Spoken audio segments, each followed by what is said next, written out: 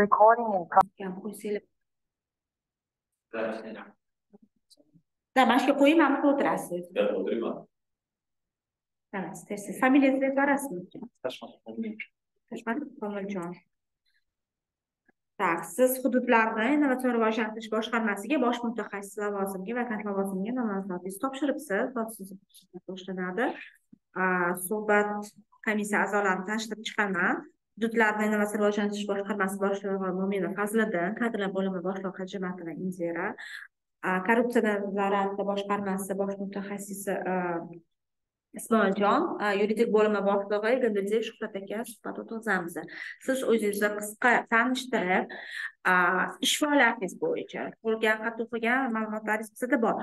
Oxirgi ish faoliyatingiz e, funksional vazifalarni shu ish jarayonida qanaqadir yutuqlarga erishgan bo'lsangiz shularni gapirib o'tsangizda и nima uchun? Aynan innovatsion rivojlanish vazirligini tanladingiz shu lavozimni tanlab topshirganingiz vazirlikni faoliyati bilan tanishmisiz? Tanish bo'lsa asosiy hech bo'lmasa ikkita yo'nalishimizni gapirib o'tsangiz marhamat o'zim ish faoliyatimni boshlagan qisqacha ta'riflab beradigan bo'lsam hozirda o'zbek kosmos agentligi tizimidagi kosmik monitoring va giyohvand texnologiyalar markazida bosh mutaxassis lavozimida faoliyat yuritaman faoliyatim natijasida asosan o'sha loyihalar bilan yuritish bilan asosiy faoliyatimiz yo'nalishi shu bilan bog'liq bevosita shu paytgacha bo'lgan olgan ko'nikmalarim asosida o'sha e, ilmiy ishlab chiqarish instituti tashkilotida besh yil ishlaganman undan keyingi e, faoliyatim natijasida yuneskoni o'sha e, ba'zi bir loyihalar transchegaraviy islom bolalari suv resurslari bo'yicha loyihalarda ishtirok etganman. Va hozirda o'sha o'zbek kosmos agentligida seysmologiya va favqulodda vaziyatlar vazirligidagi holatlar bo'yicha loyihalarni olib boraman. Э, shu bilan birga э, innovatsiya vazirligini э, qisqacha strategiyasi haqida gapirib o'tirgan bo'lsam umumiy tanishib chiqqanimda bu o'sha e, ilm fanni e, ya'ni ilm fan bilan ya'ni keyingi e, bog'liqligi natijasida o'sha iqtisodiyotni tarmoqlariga moslashtirgan ilm fan bilan bog'liq kadrlarni tayyorlash. Va o'sha iqtisodiyotni tarmoqlariga moslashuvchan kadrni tayyorlash nazarda tutilgan. Hop vazirlikni faoliyatini tanishibsiz. Ho'p nima uchun o'zi innovatsiyani tanladingiz innovatsiyani tanlashimni agentlikda ishlayapsiz har bitta sohada o'sha belgilangan darajada ya'ni yangiliklar talab qilinadi. Kosmik sohada man faoliyat bo'yicha olti yetti yil davomida faoliyat yuritib o'tirgan bo'lsam har bitta sohada yengillik talab qilinadi innovatsion vazirlik bu o'sha yengilliklarni ya'ni generator hisoblanadi ya'ni har qanaqa chiqadigan yangiliklar amaliyotga tatbiq qilinadigan yangiliklar o'sha innovatsion vazirligi asosida shakllantiriladi то есть исходный anaqa yadrosi shu vazirlik deb bilaman kelajakda o'sha ko'p innovatsion ishlanmalar yoki qanaqadir faoliyat iqtisodiyotga tatbiq qilinadigan yo'nalishlarda innovatsion vazirligi o'zini oldi qatorlarda ko'rsatadi. Maqsad ya'ni tanlaganimiz sababi o'sha innovatsiyalarni boshida o'sha ishodda bo'lishi va o'zimni hissamni qo'shish nazarda. O'zi innovatsiya degani tushunishingizni gapirib o'tsangiz misol keltirib. Innovatsiya degani bu biror bir sohaga yangilik olib kirish yangicha yondashuv ma'lum bir vazifaga misol sifatida kichkinaga innovatsiyada bizadagi o'sha kosmik sohani ham misol qilib keltirsak bo'ladi. Chet el tajribasidan foydalangan holatda o'zbekistonda o'sha kosmik sohani rivojlantirish va unga beriladigan innovatsion nimalar faoliyat asosida boshqa iqtisodiyot tarmoqlarini rivojlantirish.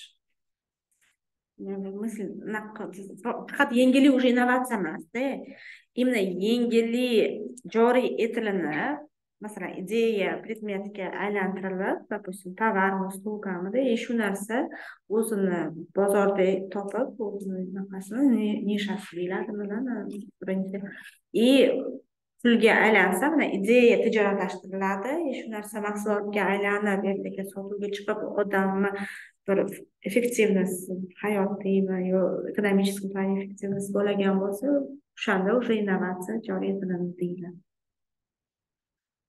Savollar bo'lsa marhamat man loyiha suv bo'yicha loyihalarda siz ishtirok etganman. Aniqroq ayta olasizmi qanaqa? Qaysi loyihalarda aynan qaysi yo'nalishda bo'lgan bu loyiha?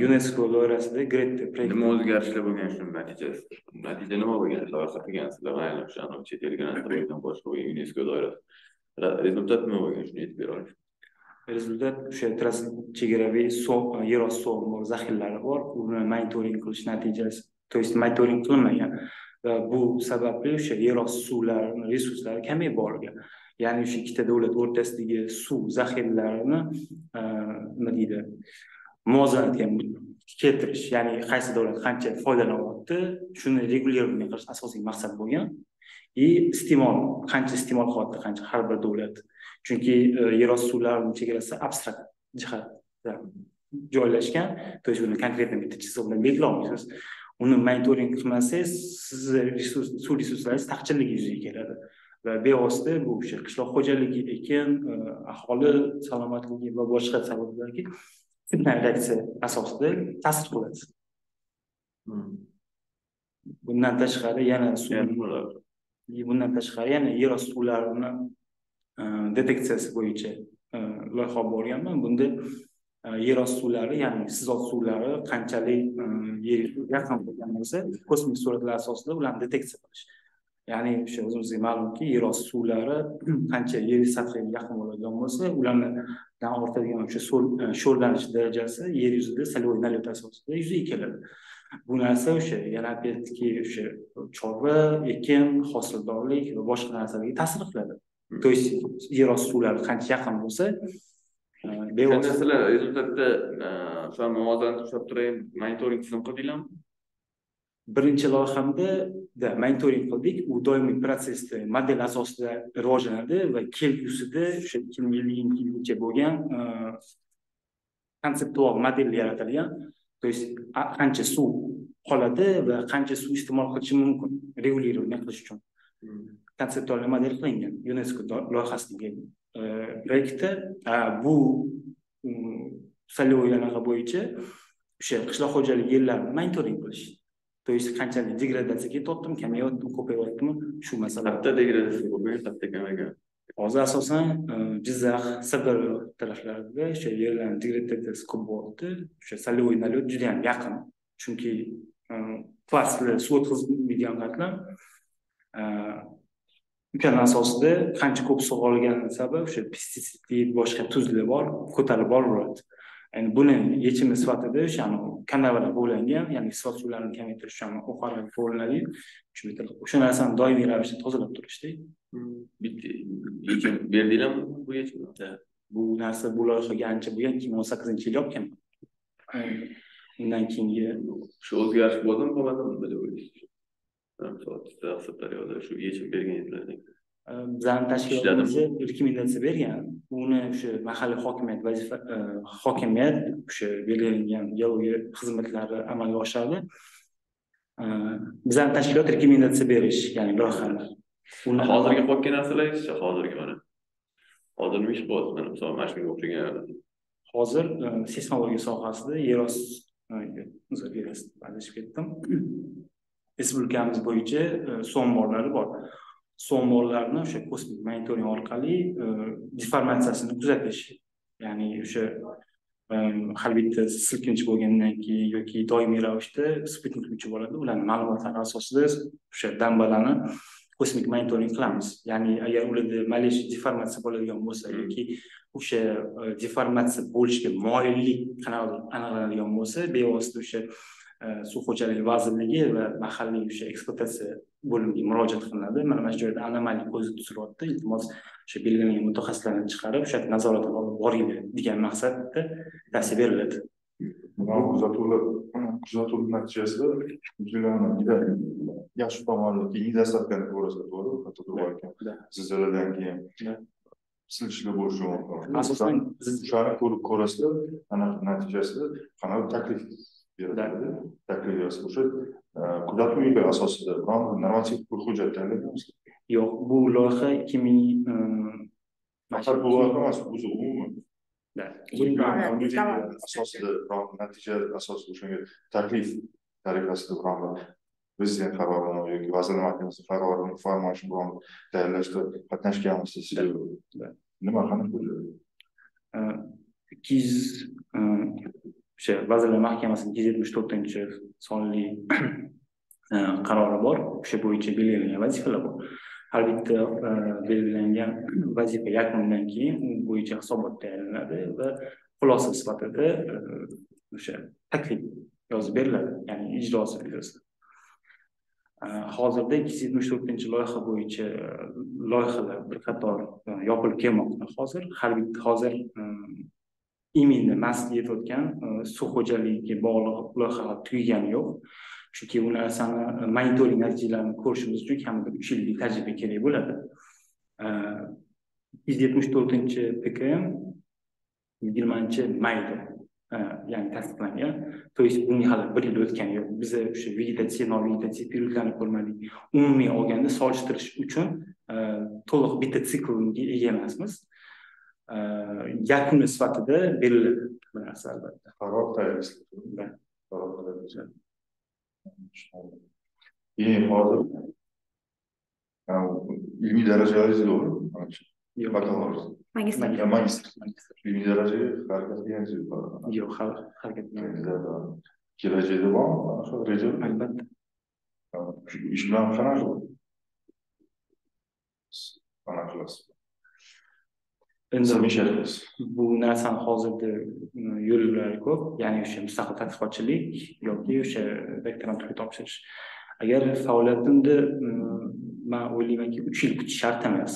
Agar hm, biror bir sohada ishlayotgan bo'lsangiz belgilangan to'g'riga erishadigan bo'lsangiz bu narsani imkoniyati bo'ladigan bo'lsa bu narsani uch yilga cho'zmasdan o'sha bir yilda hujjatlarni kerak bo'lgan hujjatlarni tayyorlab maqolalarni chiqarib o'sha yo'qolish imkoni mavjud. Hozir siz davom etayotgan boshlaringiz u e, qonunchilik qonunchilikka kerak bo'lgan takliflarni yaratib ishlab chiqaradi. Innovatsiya bilan shu qishloq e, xo'jaligiga bog'liq bo'lgan masalalar bo'yicha ishlab chiqariladi takliflarni. Kerak bo'lsa qarorlarni ham ishlab chiqaradi. E, prezident farmoni bo'ladimi qarori bo'ladimi bo'ladi vazirlar mahkamasini qarori bo'ladimi taklif shunga qanaqa qaraysiz taklifga bera olasizmi o'sha analiz o'sha olingan informatsiyalar asosida biror o'rningizni qanaqa qilasiz qila olasiz bu ishni albatta chunki общий man o'zi nima normativ hujjat degani nima tushunasiz normativ huquqiy hujjat normativ huquqiy hujjat o'sha vazirlar mahkamasini qarorlari prezident qarori prezident farmonlari umuman um, qonunchilikka tegishli bo'lgan bitta hujjat xorijiy qaysi tillarni bilasiz? Совершенстве bilmayman mukammal darajada bilmayman lekin uh, bazaviy urindan biroz yuqori angliyskiyni bilaman. Praktikovать qilganman. ikki ming o'n sakkizinchi yil hindistonda malaka oshirganman ikki yarim oy soham bo'yicha. Soha bo'yicha qaysi soha bo'yicha? Dilda Mustaqilman zanjir qaysi Zanjir. qaysi shahar? Dehradun qarang lekin hududlarni boshqarma u viloyatlarga ham xizmat safariga chiqilinadi. Xizmat safarlarga qanaqa qaraysiz qarshi emasman то есть roziman imkoniyatingiz bor a unaqa sharoitingiz imkoniyatingiz bor chiqishga hududda endi rotatsiya asosida agar viloyatlarga tayinlanadigan bo'lsangiz tayyormisiz agar siz bu ishingiz bo'ldi dedi emasda asosiy ish joyingiz asosiy ish joyingiz misol uchun boshqa viloyatlarda bo'lib qolsa chiqib yerda ikki uch yil ishlashga tayyormisiz bu masalaga hozir javob beraman o'ylab ko'rishim kerak ekan rotatsiya masalasini yo'q savolga o'zingiz uchun ma'lumot mana innovatsiya nima deb aytib berdingizku mana hozir e, suv e, muvozanatini tiklash chunki bo'lmasa suv sarfi ko'payib ketadi mana shu narsa yo'q ana mana shu ham innovatsiya sababi siz qancha suv sarfini kamaytirdingiz monitoring tizimini yo'lga qo'ydingiz suv sohasida suv xo'jalik sohasida mana mana shu innovatsiya o'zi uchun ma'lumot sizda o'zingizda bizga savollaringiz bormi qiziqtirayotgan lavozim bo'yicha agar agar asosiy o'sha boshqa ya'ni bosh mutaxassis qilingan qaysi bo'limda то есть funksional обязанности bilmoqchi edim qaysi yo'nalishga qaysi sohaga. O'sha e'lon berilganda yozilganmi? Mana bitta ma'lumot bu e'lon berilganda endi yozilgan bitta xosiyat bo'ladi. Yaxshilabki bundan tashqari veb saytimizda o'sha hududda innovatsion rivojlanish boshqarmasining asosiy yo'nalishlari funksiyalari funksional vazifalari belgilab berilgan. To'liq yozilgan. Shu veb saytda boshqarmalar degan havolada ko'rib chiqishingiz bo'ladi. Bu yerdan tezda o'ziga kelish sababi ham yaxshi ijara oyligi ham yaxshi deyishgan yo boya so'zimni balkim ko'proq so'zimni avvalda aytganimdek o'sha har bitta yangi innovatsion loyihani boshida o'sha innovatsion vazirlik turadi man bu narsani ko'rib bildim. Endi o'zim uchun kosmik monitoring sohasida e, hozir e, davlat kosmik monitoring sohaga belgilangan bo'lsa e, hozir asosan monitoring qismiga o'tirib qoldi. Ya'ni innovatsion sohada bir rivojlanishdan oldin har doim o'sha monitoring sohani оценка qilishimiz kerak. Bu ozgincha mani o'zimni shaxsiy prinsiplarimga nima qarshiroq bo'lib qoldi.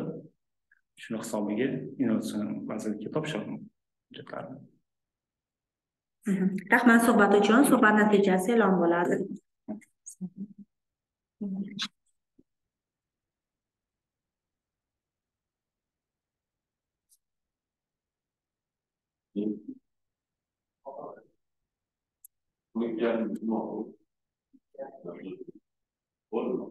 anaqa.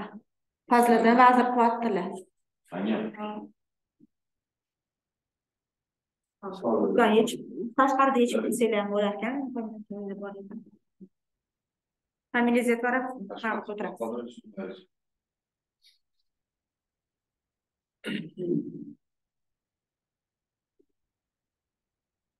assalomu alaykum. Hududlarda innovatsion rivojlantirish boshqarmasi bosh mutaxassis lavozimiga vakant lavozimiga nomzodingizni topshiribsiz. Suhbat komissiya a'zolarini tanishtirib o'taman. Yuridik bo'limi boshlig'i aka korrupsiya nazorati boshqarmasi xodimi islom islombek kadrlar bo'limi bo'lim boshlig'i hojimatova indira hamda shu boshqarma hududlararo innovatsion rivojlanish boshqarmasi boshlig'i mo'mina fazliddin maskarali suhbat o'tkazamiz siz o'zingizni qisqa tanishtirib mana shu oxirgi ish faoliyatingiz bo'yicha to'xtalsangiz sizni funksional vazifalar и ish jarayonida erishilgan o'zingizni yutuqlaringiz bo'yicha gapirib o'tsangiz ikkinchi savolim mani aynan shu lavozimni vazirlikni rivojlanish vazirligini nima uchun tanlab nomzodingizni topshirdingiz и vazirlikni faoliyati bilan tanishib chiqdingizmi tanishgan bo'lsangiz ikkita asosiy yo'nalishi aytsangiz oxirgi besh yarim yil besh yarim yil davomida qishloq xo'jaligi vazirligida yetakchi mutaxassisdan boshqarma boshlig'i o'rinbosariga lavozimda ishlaganman. Oxirgi ishlagan lavozimim to'g'ridan to'g'ri investitsiyalar bo'lgan. O'sha yoqda e, qishloq xo'jaligi yo'nalishi bo'yicha investitsiya to'g'ridan to'g'ri investitsiyalar bo'yicha shug'ullanganmiz. Undan oldingisi e, qishloq xo'jaligi butun bir e, sistemasiga bog'liq tashqi savdo aloqalar bilan shug'ullanganman. Ya'ni bu eksport import dinamikalarni olib rahbariyat monitoring qilgansizlar lekin import jarayonida ishtirok etmagan yo'q yo'q u yo'q shu. to'g'ridan to'g'ri yo'q yo'q qilmaydi to'g'ridan to'g'ri. Biz monitoring monitoringni olib borganman nima uchun innovatsiya vazirligini tanladim? Sohada ham bir ishlab ko'rmoqchiman bu sohani qanaqa tushunasiz? Innovatsiya degani nima deb tushunasiz? Endi innovatsiya endi o'zimizni tilda qanaqa tushungan bo'lsangiz yangilik keltirib yangilik hamma texnika bilan ishlash masalan bizda ham qilganmiz ko'rganmiz. Shu tomchilatish sug'orishda sug'orishda innovatsiya usullarida sug'orishlarni ko'rganmiz. Ya'ni bu e, bu yoqda o'zbekistonda ko'rmaganmanu koreya mamlakatida ko'rganman. O'sha hamma narsani odam emas robot. Ya'ni bitta kompyuter orqali bajaradigan robot hamma shu sug'orish sistemasini qilib berganini ko'rganmiz biror bir bog'da ko'rsatishgan lekin o'zbekistonda endi bu ish faoliyatim endi maniki yerchi yoki bog' bog' bog' bog' yo'nalishi bo'lmaganligi uchun o'zbekistonda hech ko'rmaganman. Innovatsiyani shuning uchun. Bahodir mana bitta savol sizga hozir Endi, a, bosh- boshqarma boshlig'i o'rinbosari lavozimiga yetish ham og'irda o'zi просто так besh yil olti yil Ha? ishlab shuncha ter to'kib ishlab anaqa o'zi bo'lmaydi. Odamni bir kunda yigirma ikkita ish anaqa lavozim ololmaydi siz besh yil ishlab tashlab hozir bu to'g'risi. Yetakchi mutaxassislik o'tyapsiz yo'q bosh mutaxassis. Bosh mutaxassis yo'q bu yerda hozir ko'ryapman siz mehnat shartnomangiz bekor qilingan avgust Da, oyida da. nima uchun? Endi bu shaxsiy o'zim masala hozirgi kunda yo'q hozirgi kunda e, eksportniy kompaniya bor evergreen spmchj o'sha yerda direktor o'rinbosari lavozimida ishlamoqda. Birinchi noyabr. A endi nima uchun minselxozdan ketding? To'g'ri savol bersiz aka siz E, nima desam ekan endi hamma sohalarga bir ko'rmoqchimiz endi balkim vaqti yetib kelgandir minselxozda o'sha paytda ishlaganimiz shuncha.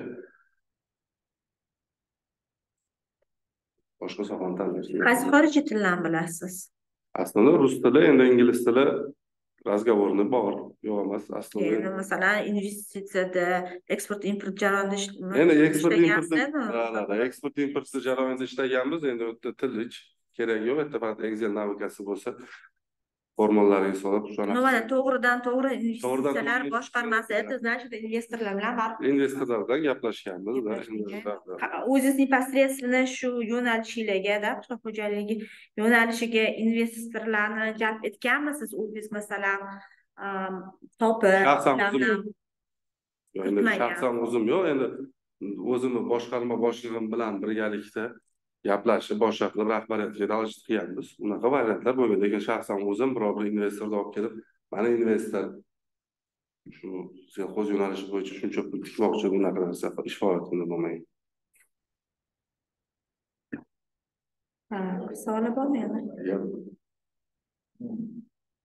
farz qabul sizni boshqalarni sirdaryoga xorazmga samarqandga ham ish beradi. Ya undan anaqa yo'q muammo yo'q u men selxozlarda ham bo'lgan yo'q yo'q xizmat safari savol oxirigacha eshitmadingiz oxirigacha eshitmadingiz savolni ishlash ha boshqa viloyatdan yo'q sizda rotatsiya sistemamiz bor qonundan qabul qilindi hozir keyin rotatsiya viloyatlarda ham ancha tajribali odam specialist mutaxassisga o'sha mana, Endi- kerak endi yuboriladigan bo'lsa endi ka- komandirovkaga man komandirovkaga hech unaqa anaqa joyim yo'q chunki biz soldat bo'lganmiz to'g'risi minselxozda ham yarim kechasi turib telefon qilib chet elga ham za granitsaga ham o'zimizni viloyatga ham turib borib anaqa komandirovkaga borish kerak ekan degan momentlar bo'lganu lekin boshqa bir viloyatga ishlashga agar rotatsiya qilishdi aka uni o'ylab ko'rishim kerak. Chunki mani ham o'zimni oilam bor bolalarim hammasi shu yerda maktabda bog'chada ayolim ham shu yerda ishlaydi. Uni endi o'sha vaqtda agar hozirda hozir da man tayyorman u narsaga deyishim endi noto'g'ri bo'ladi aka to'g'risi uni ochig'ini aytishim kerak. O'sha paytga momentga agar o'sha momentga agar biror narsa demasam hozir bir narsa aytishim qiyin. Yo'q, chunki shartnoma tuzilayotgan shartnoma tuzilayotganda ham o'sha narsa ko'rib chiqiladi. Endi rotatsiya joylashish mana endi u sразу bir bir oydan keyin rotatsiya bo'lmaydi bir yil Keyin uch yil yo'q davlat rahbari ham besh yilgacha deydigan joy yo'q qolsa sizga yo'q qolsa mayli tajribali boshqa ham kerak bo'lishi mumkin. Jo'natsinlarga endi uni bir o'sha paytda agar bir narsa demasam hozir man javob bera olmayman. Chunki mehnat shartlarini orasida ham bor endi bol bo'lsa qo'yish kerak mana nima qilaylik?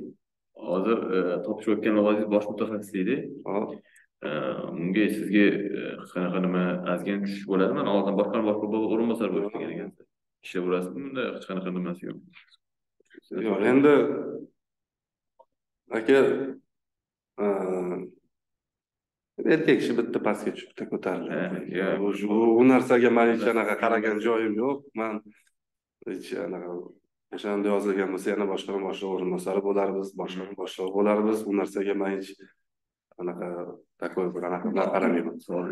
Normativ hujjatlar yozganmisiz ishchi faoliyatingiz davomida o'zingiz endi chunki bu yoqda ham ko'p normativ hujjatlar ishlanadi qarorlar o'zimizda investitsiyaga tegishli bo'lgan qarorlar qilganmiz bosh vazirni farmoyishlarini qilganmiz qo'limizdan keladi ishlaganmiz qilganmiz shaxsan o'zingiz ham shaxsan o'zim namanganda ham bir investor bor edi hali ham bor imенно kannabis bo'yicha uni ham qarorlarini o'zimiz chiqarib ya'ni shaxsan o'zim boshqa u yerdagi boshqarma boshlig'im bilan birgalikda endi biz unga tayyorlab berardik endi ko'rardik keyin уже rahbariyatga kirib ketardi. Bu narsalarni qo'limizdan keyin mana bahodir aka qarang to'g'ri to'g'ri investitsiyalar bilan ishlagan ekansiz. Investitsion innovatsion investitsion loyihalarni amalga oshirganmisiz? Yo'q bizda unaqa yo'q. Unaqa? Yo'q. qishloq xo'jaligi to'g'ridan to'g'ri. Yo'q именно qishloq xo'jaligi sohasida ya'ni bu o'sha ikkita bor edi. Bittasi bu sirdaryo viloyatida kannabis e, bittasi coca colani investitsiyasi bu davlat dasturiga tushgan faqat shu ikkita bor. Boshqa davlat dasturiga tushgan. Sirdaryoda kannabis bahorda yaqinda moy ishlab O'sha. o'sha bu shaxsan o'zingiz monitoring qilgan o'zingiz yo'lga qo'ygan loyiha. Bu loyiha endi o'n to'qqizinchi yildan beri bor. O'n to'qqizinchi yildan kelgan bu odamlar. Endi bu meros sifatida manga o'tgan desam ham bo'ladi da chunki davlat dasturiga biz mana ikki ming yigirma ikkinchi yilda davlat dasturiga ham berganmiz ikki ming yigirma birinchi yilda davlat dasturiga ham berganmiz. Mana shunaqa investitsiyalarimiz bor. Mana shunaqa e, ko'rib beringlar deb investitsiya vazirligiga administratsiyaga vazirlar mahkamasiga berganmiz. Endi ularni qanchalik biz bergan loyihalar davlat dasturiga to'g'ri keladi uni ular hal qilgan biz emas. Lekin oxirgi yetmish ikkinchi adashmasam yetmish ikkinchi sonli qaror bilan ikkita bizda ikkita investitsiya bor invest invest dastur bor edi davlat dasturiga kiritilgan. A hududiy investitsiyalar bor edi u hududiy investitsiyalarni faqatgina biz monitoringni yurardi yurgizardik. Boshqa narsasiga aralashmaslik chunki yerda o'zini hudud egasi bor. Hudud egasi hammasini o'zi hal qiladi biza faqatgina ulardan informatsiyani olib o'zimizni rahbarimizga berardik. Xuddi shunday eksport import ham ishlaganman. Uni непосредственно gtk bilan ishlaganman. Boya to'g'ri savol berdingiz. Nima qilgansiz deb. Qishloq xo'jalik vaziri ya'ni o'sha бывший vaziri jamshid abduhakimovichga man tayyorlab beraman hamma hujjatlarni. Ya'ni eksport import bo'yicha. Undan tashqari международный управление ham ishlaganman. Uyoqda ham judayam ko'p chet elliklar bilan ishlaganmiz.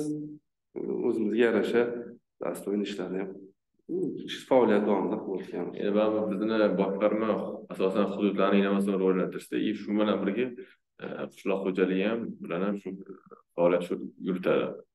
E, hududlarda aynan e, iqtisodiy ijtimoiy sohalarni rivojlantirish bo'yicha bir qanaqadir ko'nikmaga egamisiz bu bo'yicha dasturlar yo'q yo'q qilmagan qilmagansiz yo'q yo'q qaysi hududda nima driver soha masalan hududda yo'q endi o'zimni ya'ni o'sha ishlab yurgan управлениямda uni bilardim qaysi nima qanaqa soha driver siz aytgandek qanaqa driver soha o'sha aytaylik eksportyor действительно o'sha eksport qila oladimi o'sha plankani bajara oladimi yo'qmi uni man aytib berardim u qo'limizdan keladi A, ikkita investitsiya bor edi. Bu aytdim boya davlat dasturiga kiritilgan. O'shani faqat monitoring qiladi. Lekin boshqa sohaga umuman aralashmaganmiz ya'ni investitsiya ya'ni mana innovatsiya sohasiga yoki boshqa sohasiga umuman aralashmaganmiz. Endi shuncha ishlab umuman innovatsiyaga masalan innovatsiyaga bilan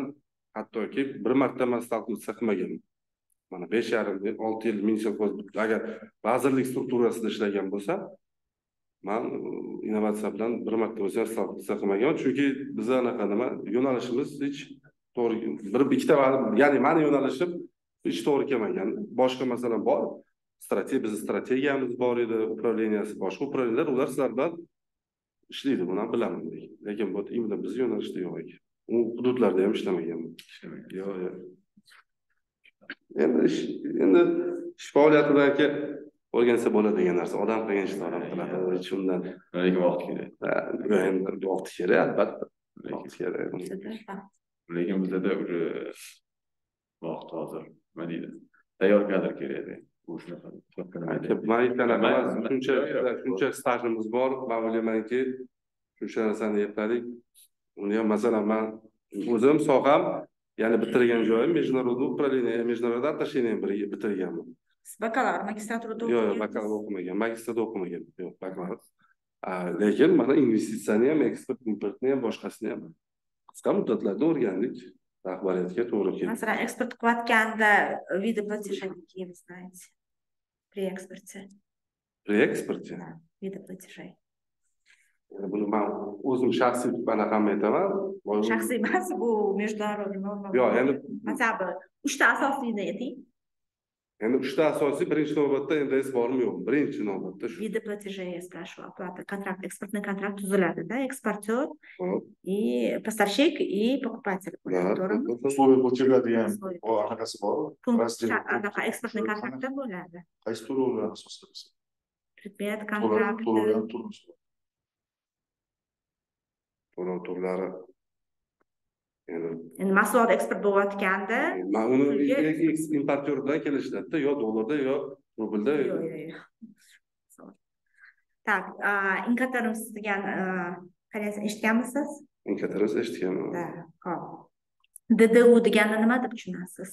Yo enkatarmisni man to'la bilmayman umuman abreviaturalarini bilmaysiz fc yo sip dap eshitganmanu endi cost insurance endi deyiladi masalan masalan bu narsani yo'q endi mana eksportda ishlaganman monitoring qilganman desa u eksportni hozir savollarini eng oson savollarni beryapmanda Yo, yo'q, ish man yana opa aytaman ish faoliyatimda u inkatermis bilan umuman to'g'ri biz kelmagan. Umuman. Chunki boya o'zi aytgandek faqatgina monitoring qilganmiz xolos. Lekin masalan inkatermisda hech ham inkatermis bilan yo'q международный anaqani hech umuman tushunmaganman ham ko'rmaganman. O'qimaganman. ham. Хорошо. Rahmat, Bahodir suhbat uchun. Rahmat.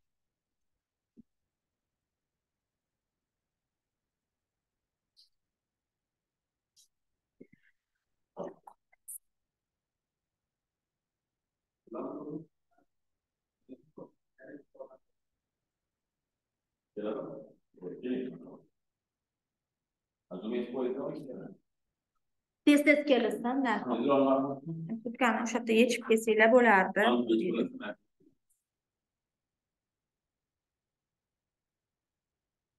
Marhamat, shu yerga o'tirasiz. Familiyangizni aytib berasizmi? Ahmad Muhammad Boburjon. Mana. Siz hududlarni innovatsion rivojlantirish boshqarmasiga bosh mutaxassis lavozimiga nomzodingizni topshiribsiz. Komissiya a'zolarini tanishtirib chiqaman. Ayni shu boshqarmani boshlig'i Mo'minov Fazliddin. Kadrlar bo'limi boshlig'i hajimatova Indira, korrupsiya nazorati bo'limi mutaxassisi Ismoiljon hamda yuridik bo'limi boshlig'i Egamberdiev Shuhrat aka suhbat o'tkazamiz. O'zingizni qisqa tanishtirib, ish faoliyati gapiring, o'qishlarni hammasini anaqada ko'rib turibmiz ma'lumotnomangizda. Oxirgi ish faoliyatingiz, sizni funksional vazifasi sizni o'zingizga nima kirgan, nima ish amalga oshirgansiz и hamda o'zingizni yutuqlaringiz o'zingizni inisiativa bilan erishgan bo'lsangiz shuni gapirib o'tib ikkinchi savolim qismi aynan ayni shu lavozimni ayni innovatsion rivojlanish vazirligidan nima uchun tanlab topshirdingiz и E, vazirlikni faoliyati bilan tanishib chiqqanmiz tanishgan bo'lsangiz ikkita asosiy yo'nalishni aytsangiz marhamat ismim Muhammad Bobur, familiyam Mahmudov. Hozirgi kunda Chilonzor tumani hokimligi yani e, investitsiya va tashqi savdo bo'limi boshlig'i o'rinbosari lavozimida faoliyat yuritganman. E, lavozim majburiyatlarimga keladigan bo'lsak, tumanda investitsiya bo'limi yangi investitsion loyihalarni o'zi amalga oshirayotgan bir xil odamlar bor. Э, hokimiyatga murojaat qilmaydi o'zi o'zi samotyok bilan o'zi loyihalar amalga oshiradi. Biz shularni har kuni ko'chaga chiqib yurib topib aniqlaymiz va e, ularga misol uchun e, kreditda muammo bo'ladimi yoki o'sha e, loyiha amalga oshirish jarayonida qanaqadir to'sqinlikka to'g'ri kelsa har tomonlama qo'ldan kelgancha yordam beramiz. И ikkinchisi har bitta tumanda bo'sh turgan binolar bor. Bo'sh turgan binolar bor. Endi har xil tuman o'ziga yarasha o'zini strategiyasi bor. E, man o'zimni komandam bilan o'sha bo'sh turgan binoga e, o'zimizni qanaqadir bir ideyalarimizni loyihalarimizni e, qilib qo'yganmiz planshetlarini prezentatsiyalarini qilib qo'yganmiz. И shunga qarab biz investor qidiramiz.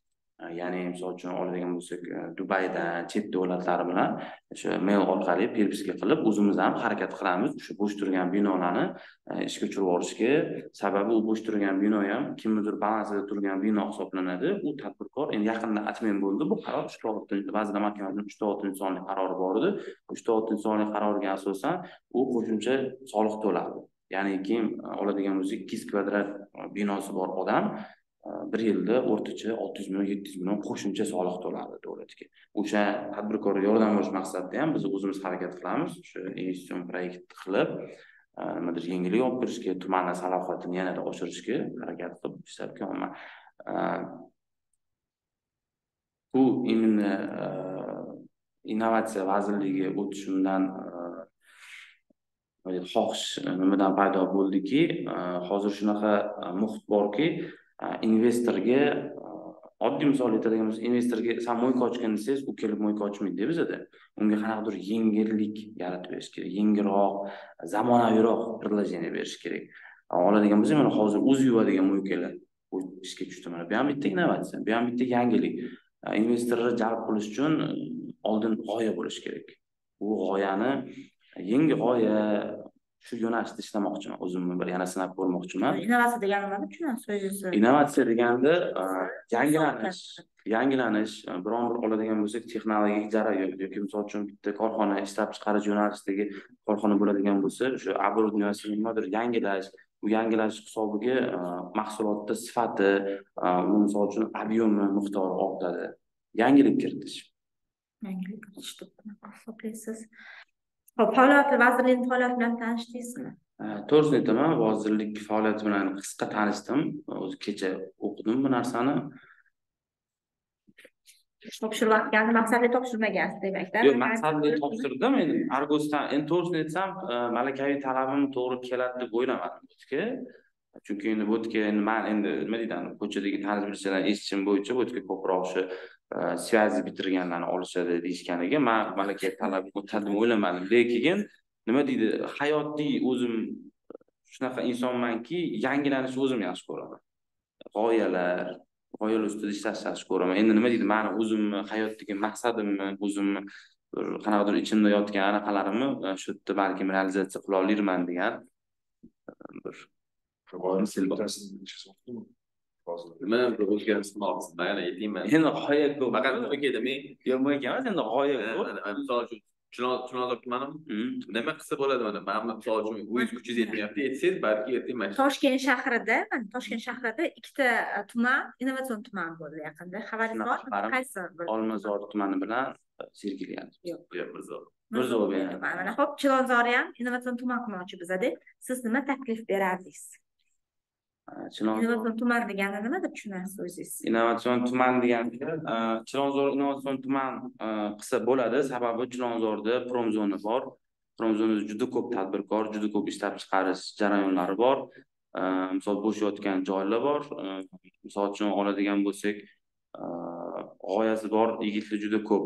Oddiy misol mana man bir do'stim bilan shunaqa loyiha amalga oshirgandik. Endi mani ideyam emas lekin man shu protsessda qatnashganman uyda is gazi chiqsa avtomatik tarzda oyna ochilish mexanizmi. Shu narsani o'ylab topgan misol uchun o'rtog'im man shu narsani realizatsiya qilmoqchi bo'ldim lekin bo'lmadi. Shunga o'xshash g'oyalar bilan ishlashni xohlayman nimaga bu qanaqa oynaga ulaydimi shunaqa datchik bo'ladi o'sha datchik startapda masalan vazirlik startaplarga mollashtiradi mollashtiradi xabaringiz bo'lsin nimaga mana shuni g'oya dedinglar bu o'xshamadi shu g'oya ham mana misol uchun apple oladigan bo'lsak bu ham startap loyiha bo'lgan. Apple ham misol uchun e, u tadbirkor bo'lmagan stiv jobs. U faqatgina unda ideya bo'lgan u injener bo'lgan o'sha narsani o'ylab topgan. Lekin e, to'g'ri yo'nalishda investitsiya kiritdi mana uni g'oyasini поддержка qilishgan bo'lib ketdi. O'zi обычный startap har doim ham oxiri успешный tugaydi deb aytolmayman. Faqatgina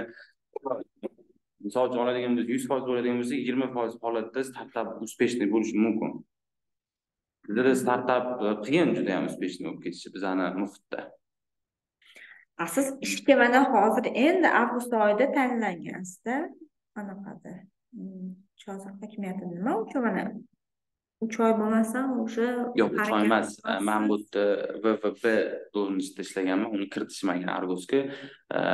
Argosdan o'tmasdan turib vaqtincha ish vazifasi bajaruvchi bo'lib ishlaganman yetti oy ishladim, yetti oy yetti oy ichida это маленький masalan да ну manga sizga to'g'risini aytaman. E, tumanda faoliyatni nimasi yoqmadiki e, tumanda sizni o'zingiz ustingizda ishlashga vaqt yo'q. Ya'ni kim e, siz ko'chaga chiqasiz prezident tashrifi bo'ladi gul ekish kerak tayyorgarlik qilish kerak noqonuniy qurilmani buzish kerak va hokazo va hokazolar. Qiyinchilikdan qochyapman yo'q qiyinchilikdan emas tashkiliy masala juda yam ko'p.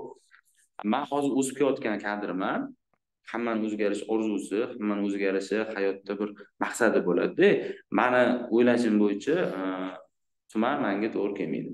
Sababi u yerda tashkiliy masalalar juda ko'p. Undan ko'ra man misol uchun hozir e, lavozimim misol uchun pasayishi ham mumkin chunki pasayadi bundoq qarasangiz. Lekin e, man o'zim ustimda ishlashim bu yerda ko'proq balki nimagadir erishishimga ishonyapman xorijiy tillarni ingliz xitoyda qanaqa darajada bilasiz? E, ingliz tilini o'rta darajada bilaman. Mukammal yoziladi bu yerga mukammal edi endi hozir ancha esdan chiqib qolgan lekin hozir qaytaryapman E, xitoy tilini faqat gaplasha olmayman yozish bu yoqda faqat bakalavr kiritilgan a, magistraturada o'qiganmisiz yo'q o'qimagan.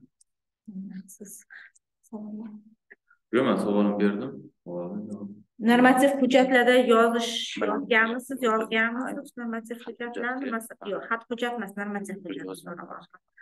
Shahar hokimiyatida ishlaganman soqol bittasini ayting shaxsan o'zingiz normativ hujjatga misol uchun mana man nima desa bo'ladi. Qaror tayinlayman. Shahar qaror yozardim. Qaror misol uchun o'tiydi hokim farmoyishlari bor o'shani yozganman bir oddiy hokim qarori bilan hokim normativ hu- hujjat farqimi normativ huquqiy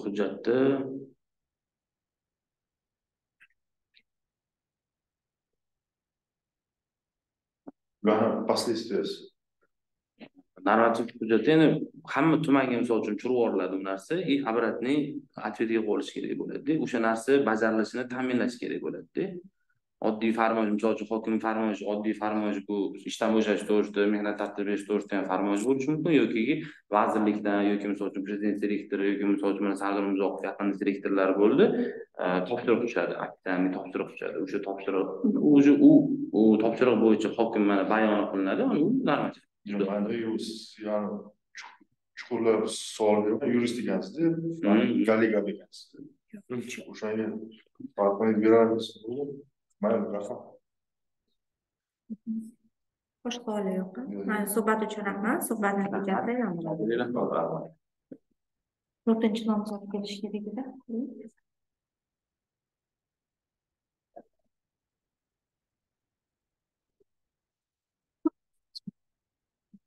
Они заезжают, заезжают на компанию.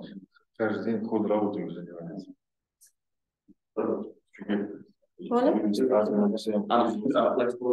Bugungi yurist itoatli o'zi ayazini o'zi uni yurist ma'mur bo'ldi ta nomzod keldi qolganlar kelmadi. Suhbat uchun rahmat. Sizga ham ishtirok etganingiz uchun. Rahmat, sog' bo'ling.